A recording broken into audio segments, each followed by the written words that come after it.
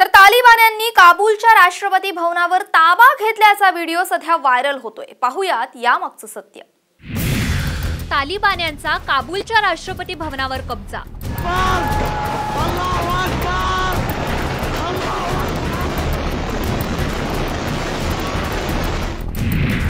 तालिबान्यांचा video viral.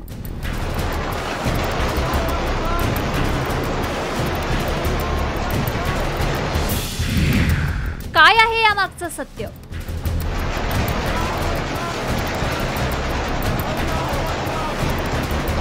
अफगाणिस्तानात तालिबान्यांनी काबूल काबीज केल्यानंतर नागरिकांमध्ये भीतीचं वातावरण आहे.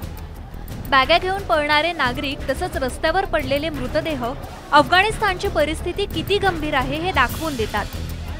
अफगाणिस्तानचे राष्ट्राध्यक्ष अशरफ घनींनी सुद्धा देश सोडून पलायन केलंय.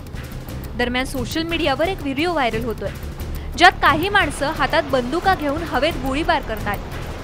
अल्लाहू अकबर अशा घोषणाही देत आहेत हा व्हिडिओ अफगाणिस्तानची राजधानी काबूलचा असल्याचा दावा केला जातोय.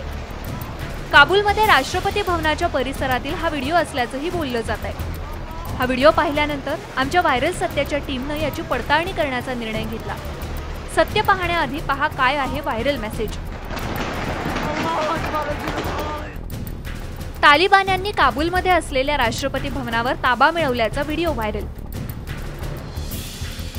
आमच्या व्हायरल सत्याच्या टीमनं याची पडताळणी केली. विविध ठिकाणांहून पोस्टची खातर जमा केली. अनेक तज्ज्ञांशी बातचीत करून माहितीची खातर जमा करून घेतली आणि त्यानंतर काय सत्य समोर आलं पहा. हा व्हिडिओ काबूलचा नसून सिरियाची राजधानी इडलिब इथला आहे.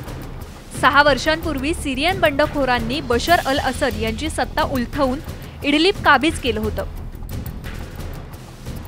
आमच्या पडताळणीत व्हायरल झालेला व्हिडिओ असत्य ठरलाय. Bureau report Saam TV news.